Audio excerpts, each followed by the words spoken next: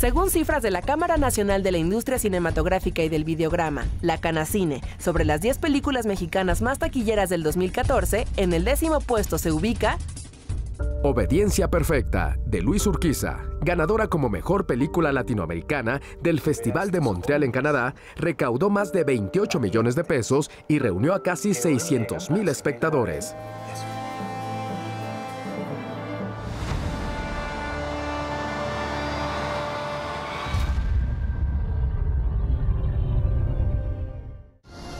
El noveno lugar lo ocupa Amor de mis amores, segundo largometraje de Manolo Caro.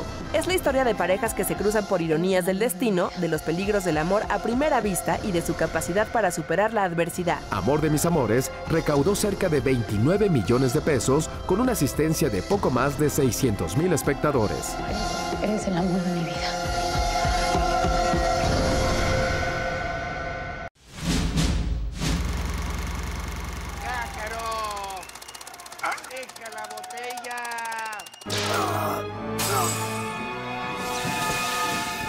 En el octavo lugar se encuentra El crimen del Cácaro Gumaro, de Emilio Portes, que reunió en salas casi un millón y medio de espectadores. lo que significó una recaudación de cerca de 63 millones de pesos.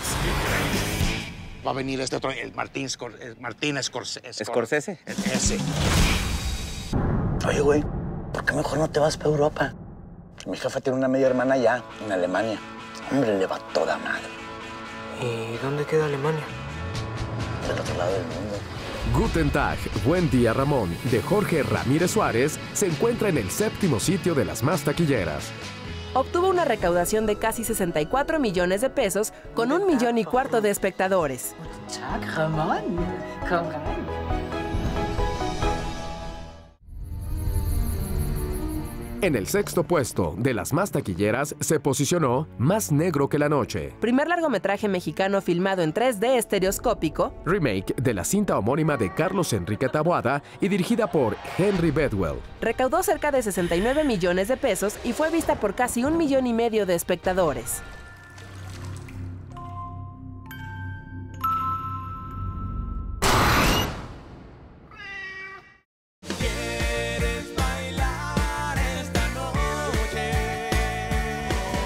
¿Qué le dijiste a Dios? de Teresa Suárez se encuentra en el quinto lugar de la lista de las más taquilleras. Fue vista por más de un millón y medio de personas, con lo que recaudó casi 69 millones de pesos.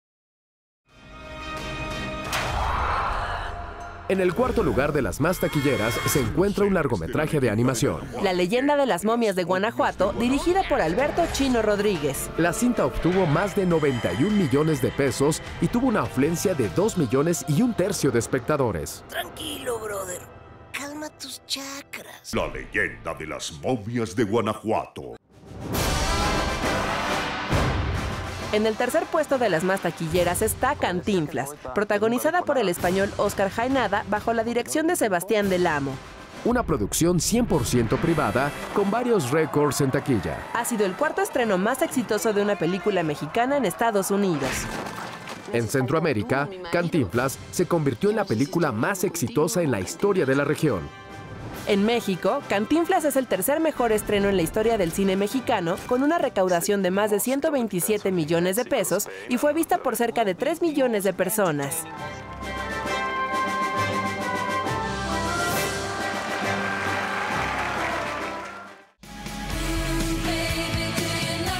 En el segundo lugar de las películas mexicanas más taquilleras del 2014 se ubica Cásese quien pueda, escrita y protagonizada por Marta Higareda y dirigida por Marco Polo Constance, reunió a cerca de 5 millones de asistentes en las salas. lo que significó un ingreso de casi 170 millones de pesos en taquilla.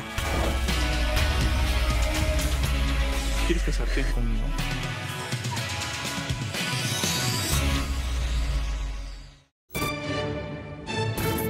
Mr. Ambassador, it's a great honor to have you in Mexico. We actually have many problems in Mexico. Según las cifras de la Canacine, la película mexicana con mayor recaudación en taquilla en el 2014 fue. La dictadura perfecta, dirigida y producida por Luis Estrada, Esta cinta fue vista en salas por más de 4 millones de personas. con lo que obtuvo ingresos por más de 186 millones de pesos. Récord en taquilla del 2014. Ahora sí, compadre. De aquí a los pinos.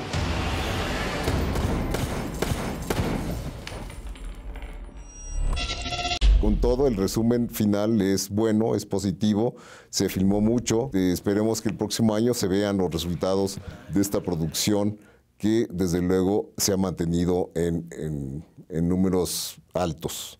Entonces, bueno, este, esperemos para el 2015 unos resultados similares o incluso mejores. Y bueno, no nos queda más que desearles un feliz 2015 y esperamos que nos vean, nos sigan viendo en este espacio.